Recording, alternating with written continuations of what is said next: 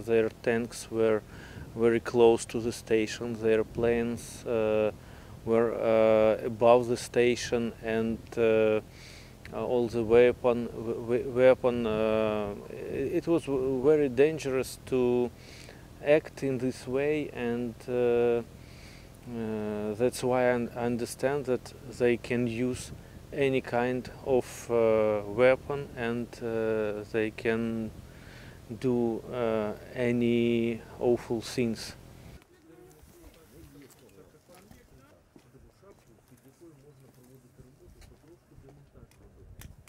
Конечно, нас обучали к тому, что какие угрозы могут существовать у атомной станции.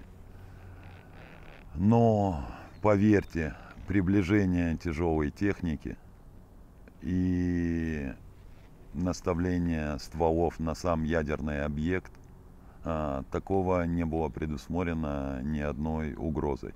Да, она была гипотетическая, но это в условиях войны. Всеми международными договоренностями, всем э, нету такой угрозы. Она может быть, но ее не должны ни, ни одно государство допускать. Поэтому я рассматриваю захват двух наших атомных станций это как акт ядерного терроризма.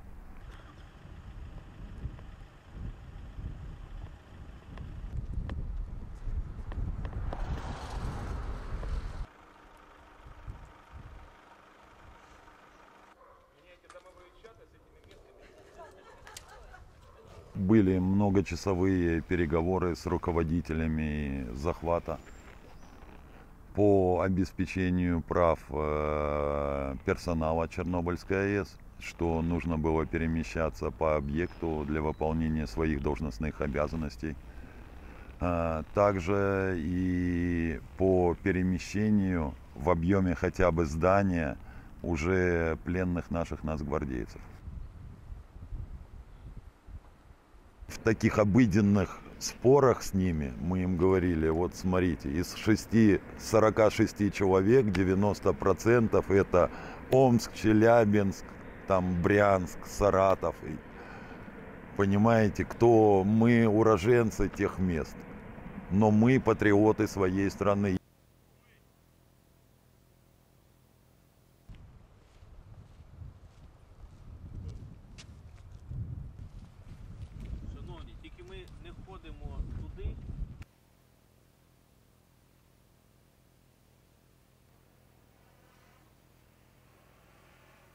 У рудому лісі, де рашисти рили окопи, вони тут жили, вони дихали пилом, е, вони е, робили тут їжу, палили вогнища, відповідно, горіла трава, і вони також всіми цими продуктами горіння вони е, їми дихали. Звичайно, це не то, що не залишиться просто так для їх здоров'я, це буде їх повільно, а деяких, мабуть, швидко вбивати. Тут була і важка техніка, і е, ви бачите за мною і місця для е, особового складу. Тобто тут було декілька десятків людей постійно.